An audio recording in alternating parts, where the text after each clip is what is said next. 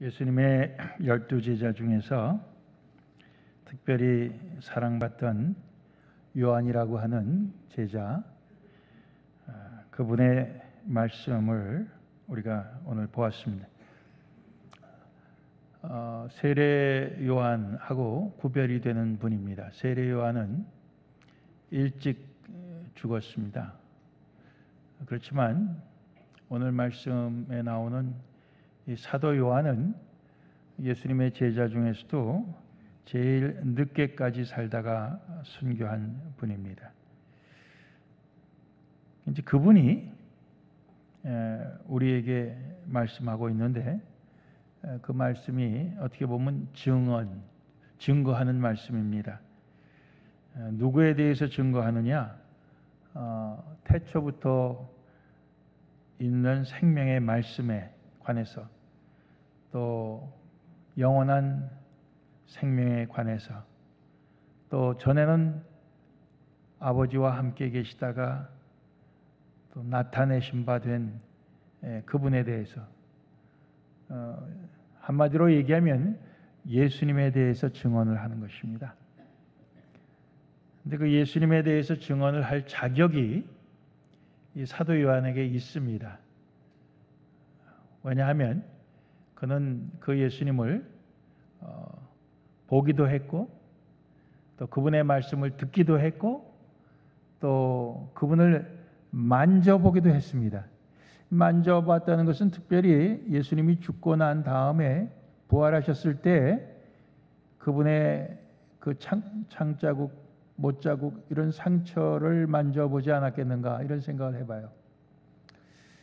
그렇기 때문에 이 사도 요한이 그가 증거하는 그 말은 우리가 신뢰할 수가 있습니다.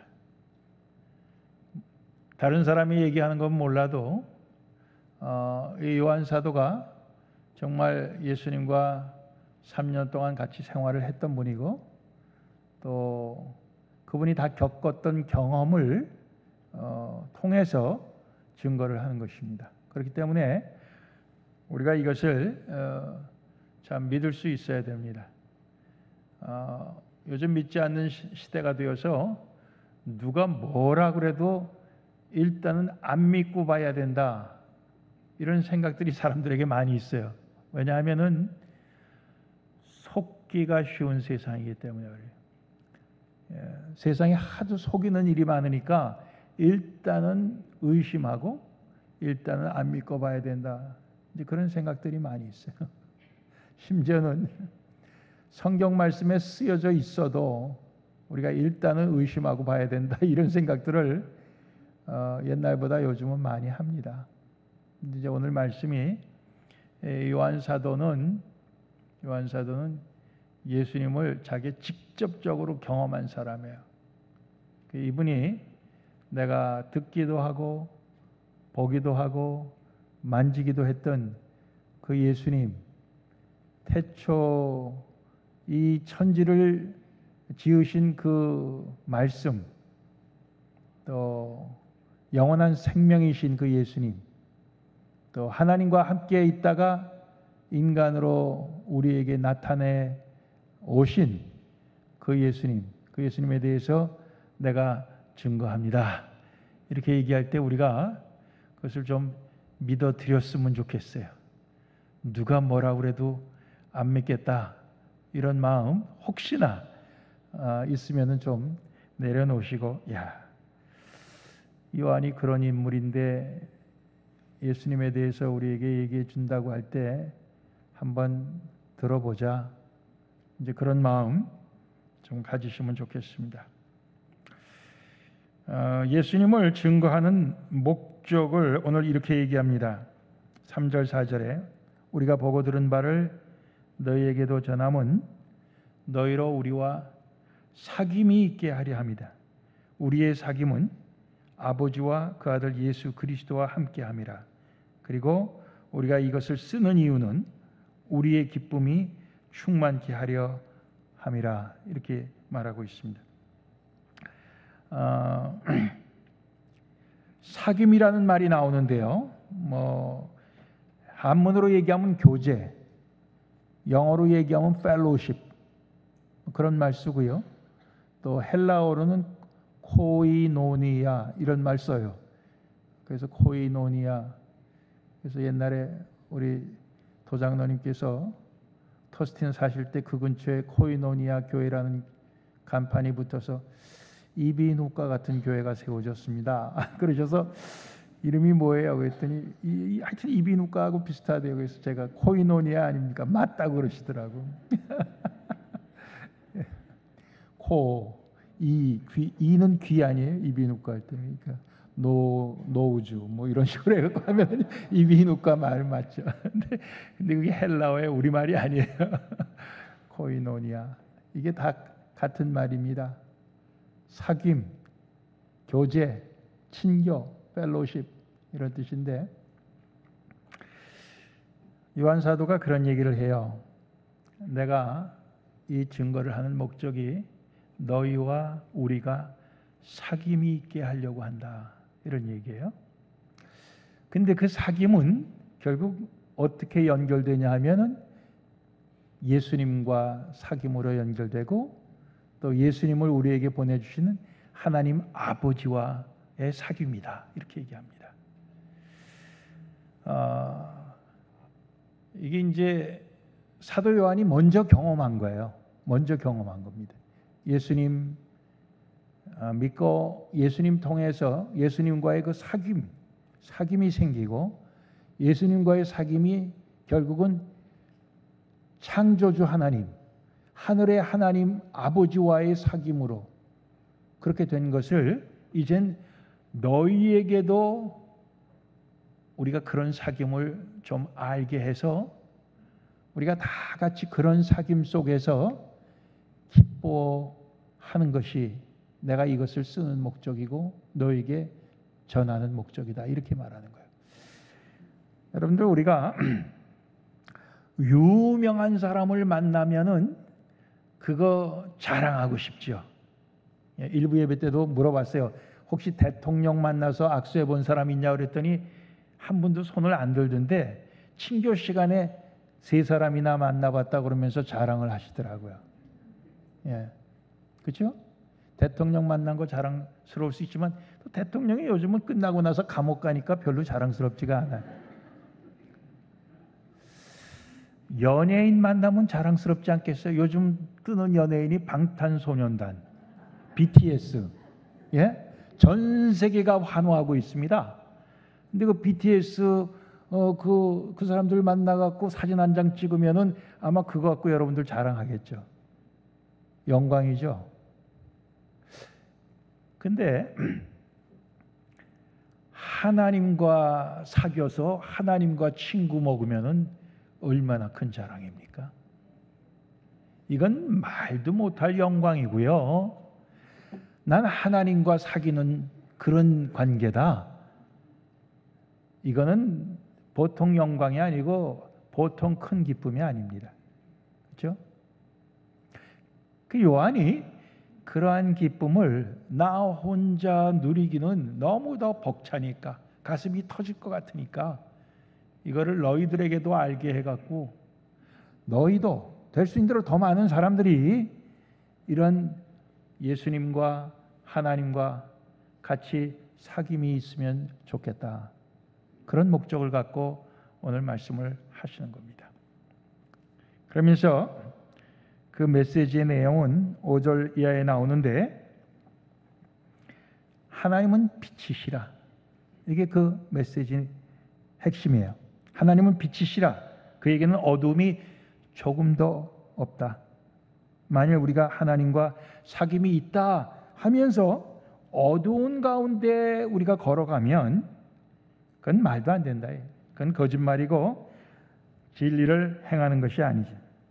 그러나 하나님이 빛 가운데 계신 것 같이 우리도 빛 가운데 걸어가면 하나님과 우리가 사귐이 있고 그 아들 예수의 피가 우리를 모든 죄에서 깨끗하게 하실 것이요. 그러면서 하나님과의 우리의 사귐이 정말 깨끗하고 맑고 그리고 빛과 같이 환한 그런 사귐일 것을 얘기합니다. 여러분도 우리 인간관계 사귐 뭐 젊은 사람들이 우리 사귀어요.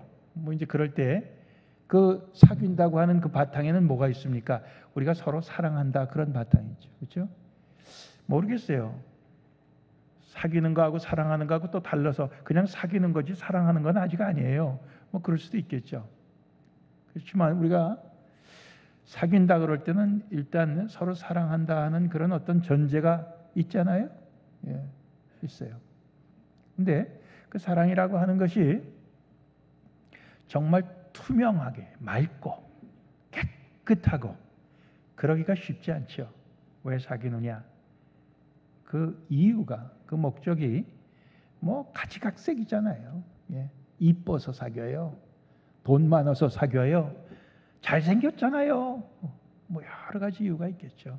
근데 오늘 말씀 속에서는 하나님이 빛이시기 때문에 그래요. 예. 빛이기 때문에 우리가 사깁니다. 메시지 내용이 그거예요. 빛이라고 하는 그 속에서 어둠이 조금도 없다. 어떤 어둠의 구석이 요만큼도 없다. 그런 말씀입니다. 예. 그 하나님과의 사귐. 예.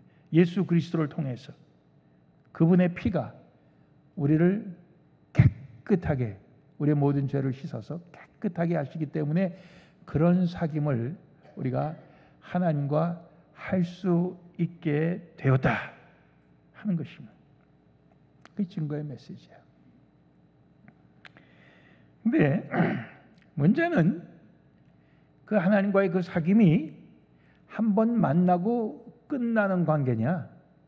그렇지 않으면 지속적으로 계속되어서 천국에 이르기까지 영원토록 영원토록 이어질 그런 사귐이냐?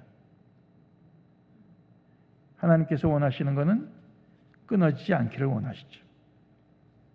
끊어지지 않게 되기 위해서 어떤 게 필요하냐?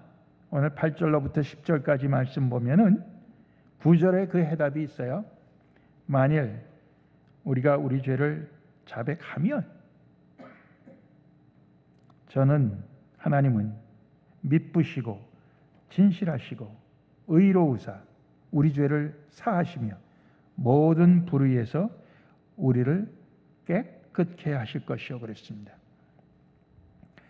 어, 하나님 빛 대신 하나님과 우리 사이에 그 사귐을 방해하고 또 그것을 막고 그것을 중단시키는 그것은 바로 우리 가운데 있는 죄입니다. 그래서 그죄 문제를 해결해야 아, 그 사귐이 영원히 계속될 수가 있어요. 근데 그죄 해결은 결국 간단해요. 우리가 그것을 자백하는 데 있습니다. 내가 죄인이 아니다. 이렇게 부정을 하거나 내가 죄를 짓지 아니했다. 이렇게 우리가 주장하는 것으로 되는 게 아니에요. 결국 우리 죄를 자백할 때 결국 하나님은 우리를 용서해 주시고 용서해 주시는 걸 끝나지 않고 우리를 모든 불의한 것에서 깨끗하게 해 주신다. 그렇게 말씀하고 있습니다. 여러분들 한번 생각해 봅시다. 우리가 하나님 아버지와 또 예수 그리스도와의 그 사귐, 사랑의 사귐이 여러분들 지금 막혀 있는 그런 죄가 하나도 없다. 그런 분들 계셔요? 뭔가 막혀 있어서 뭔가 찜찜해서 하나님하고 내가 사귀는 그런 관계다. 우리가 떳떳하게 얘기할 수 없는 그런 이유가 있다면 그것이 결국 우리가 자백하지 않은 숨기고 있는 죄 때문에 그렇죠. 그렇죠? 근데 우리가 그러면서도 어, 살아갑니다. 왜냐하면은 뭐 나만 그런가? 사람들이 다 그렇게 사는 거지 뭐 하면서 우리가 가는 거예요. 그러다 보니까 하나님과의 사귐이 빛 가운데서의 사귐처럼 투명하지가 않아요. 인간들 사이에서의 그 관계도 사실은 투명하면 투명할수록 그 사귐은 사귐은 정말 진실된 그런 사귐이 될 수가 있는데 인간들 관계에서도 우리가 때로는 숨겨야 되는 게 있고 때로는 거짓말해야 되는 것도 있고 그런 관계가 있잖아요. 그럴 때 우리의 그 사귐이 서로 신뢰하지 못하게 되죠. 신뢰하지 못하게 돼요. 예. 근데 하나님에게 있어서는 더합니다. 하나님에게 있어서는 정말 우리의 마음 속에 생각하는 것까지 죄가 없어야 돼요. 너희가 마음으로 여인을 보고 가, 어, 음욕을 품는 자마다 이미 간음하였느니라. 예수님 그렇게까지 말씀하셔요. 우리 인간들 사회에서는 그런 마음이 생겨도 그것을 누르고 행동으로 옮기지 아니했으면 된다. 우리는 그렇게 얘기하잖아요. 근데 예수님은 그렇게 말씀하지 않으시고 그 욕심을 품은 것부터가 벌써 죄다 이렇게 얘기를 하는 거예요. 예수님 그렇게 얘기하셨는데 저희 아내도 저한테 그렇게 얘기해요. 안 웃으시네? 아이고. 그러니까 우리가 그런 데서 우리가 자유할 수가 있어요. 거기에 대해서 우리가 나는 죄가 없다 이렇게 얘기할 수가 없죠. 네. 그런 것들이 결국 하나님과 우리의 사귐을 막는 겁니다. 근데 그것을 야, 그 정도야 죄도 아니다. 뭐 이렇게 우리가 고집을 하면은 하나님과의 사귐은 결국은 중단되고 마는 거예요. 그러나 자백하면 자백하면 하나님은 용서해 주시고 또 우리를 깨끗하게 해 주신다 이거예요. 용서만 해 주시는 게 아니라 우리를 다시 깨끗하게 해 주신다는 건 뭐예요? 원상 복귀를 해 주신다는 거예요. 이건 하나님만이 하실 수 있는 거예요. 우리 인간들 그렇게 못 합니다. 하나님께서 우리를 깨끗하게 아예 처음과 같이 죄 짓기 전과 같이 그렇게 해 주신다 이거예요. 그렇게 해 주시면은 우리는 계속해서 하나님과 사귐을 할 수가 있는 거죠. 인간 세상에선 그러기 참 어렵잖아요. 우리가 용서해 줬다. 그래도 너는 용서는 해 줬지만 너는 너는 일단 죄 진 놈이야. 너는 깨끗한 놈이 아니야. 넌 더러운 놈이야. 하면서 우리가 그렇게 낙인을 딱 찍고 우리가 상대하잖아요. 하나님은 안 그러셔. 하나님은 자백하면 그것을 용서하실 뿐만 아니라 깨끗하게 해주시고 다시금 그 사귐을 계속하게 하시는 그런 하나님입니다. 그러니까 우리가 참이 자백한다고 하는 것이 하나님 앞에 자백한다고 하는 것이 우리에게 주어진 특권이에요. 특권입니다. 그렇게 해서 우리가 하나님과의 사귐에 중단도 없어야 되고 막힘도 없어야 되는 것입니다. 그런 하나님과의 사귐이 우리에게는 얼마나 영광스러운 것이고 얼마나 우리가 기쁨을 누릴 수 있는 것인지 그것을 오늘 사도 요한을 통해서 우리의 것으로 만들 수 있기를 원합니다. 마지막으로 생각할 것은 하나님과의 이런 사귐을 아직 시작 안 한 사람들에게 하나님께서 사귀자고 먼저 초청하시는 말씀이 요한복음 3장에 나옵니다. 우리가 잘 아는 말씀이에요. 하나님이 세상을 이처럼 사랑하사 독생자를 주셨으니 이는 저를 믿는 자마다 멸망치 않고 영생을 얻게 하려 하십니다. 하나님이 그 아들을 세상에 보내신 것은 세상을 심판하려고 보내신 것이 아니요. 그 아들로 말미암아 세상이 구원을 받게 하려 하십니다. 그 아들 예수를 믿는 자는 심판을 받지 아니하고 믿지 아니하는 자는 하나님의 독생자의 이름을 믿지 아니함으로 벌써 심판을 받은 것이라 하면서 그 심판을 받은 것이 뭐냐? 빛이 세상에 왔어도 사람들이 자기 행위가 악함으로 빛보다 어두움을 더 사랑한 것이라. 빛보다 어두움을 더 사랑하고 사는 그 자체가 이미 이미 심판받은 삶이라는 거예요.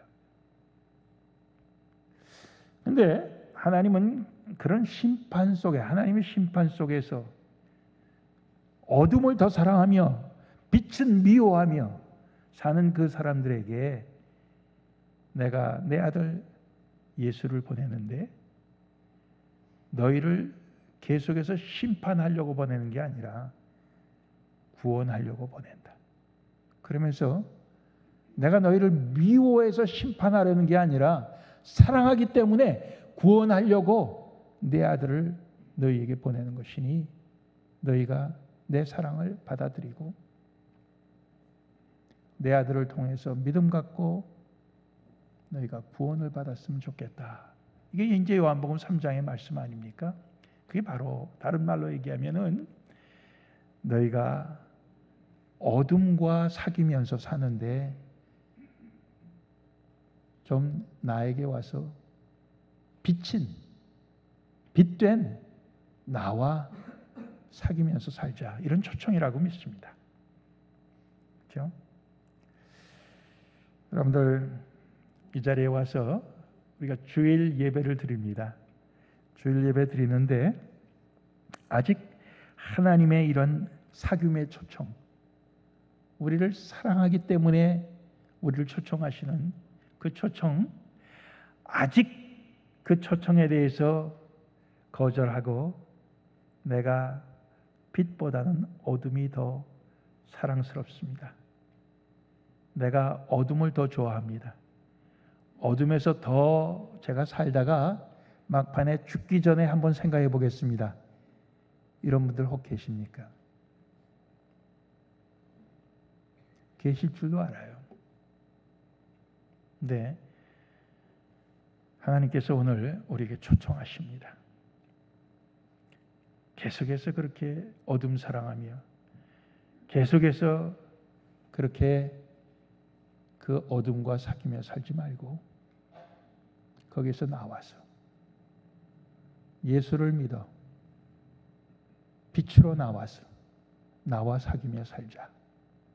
하나님께서 우리에게 이렇게 초청하십니다. 여러분들 세상에 유명하고 세상에 존경받는 사람이 우리를 초청해도 우리가 감지덕지 해 갖고 모든 일 제껴놓고 달려갈 판인데 하나님께서 친히 먼저 우리를 그렇게 초청하시는 겁니다.